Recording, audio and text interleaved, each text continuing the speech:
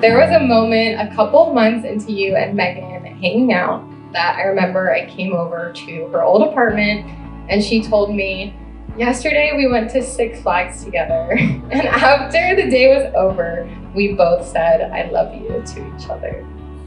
Meghan had never told me she had said I love you to anyone up until that moment, so I knew it was about to get real.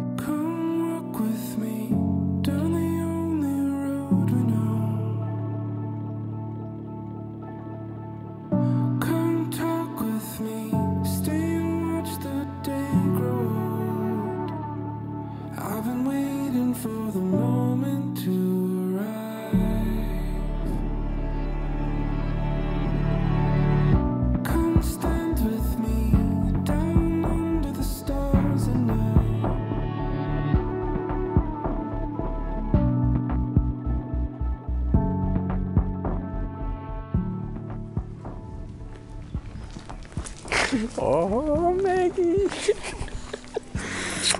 oh, you look beautiful. Thank you. Beautiful. You look really handsome. Thank you. No, Lisa and I know how much you love love Meghan just by the way you care for her and you you uh, support her in all of her endeavors. Um, we've had great joy in getting to know you over the past five six years, and um, we're, we're really thrilled to have you as a member of our family and, and can't wait to to see what you two do together.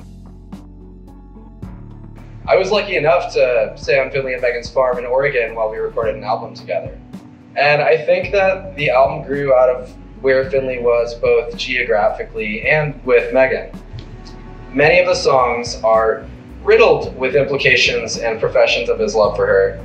Even at the time, saying he might make a wife and a family with her felt unnecessarily uncertain. But I'm glad that we can now confidently say he will. And I can't wait to see those they positively affect with their infectious sincerity in this next chapter of their lives. I couldn't be happier for the both of you. So with that, let's raise a glass to the beautiful newlyweds.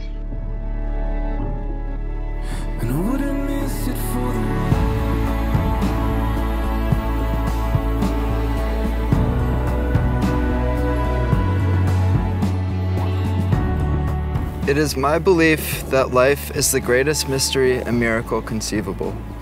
To exist, to be here now, feeling and experiencing with you is a magical gift. And every moment is a choice, and in every moment, I'm grateful to be with you. When the world puts something this obvious in front of you, you don't just walk away from it. You could be missing out on something really important.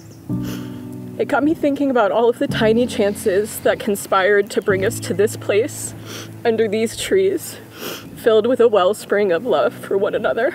In life, you make me better, more complete, and more capable. You have shown me the love that we all deserve, and in every moment, I look up to you. And in every moment, I am striving to learn and reciprocate that love so selflessly given. I admire, respect, and love you dearly. I am the luckiest man in the world to have the privilege of marrying you. And I stand here in joyful anticipation of the life and family that we will share. I'm so grateful that we became friends, to best friends, to definitely not boyfriend and girlfriend, but certainly in love. to partners in life and soon to be husband and wife. You are the fundamental blessing in my life. You have given me an opportunity to choose a joyful and fulfilled path. I promise to never take that for granted and to make the most of this perfect love you have shared with me. I vow to always tell you what's in my heart. And I vow to tend to our relationship and future family as I tend to our garden. Because I know that love was planted a long time ago within us, and yet it still grows no matter the season. When I look at you, I see love long overgrown, rooted like a tree and swaying along with the breeze of life right beside me. I know that today we sow a new seed, one that will grow like ivy up the trunks of our already rooted trees, a symbol of our enduring bond to last throughout our lives. I love you, Finley. I love you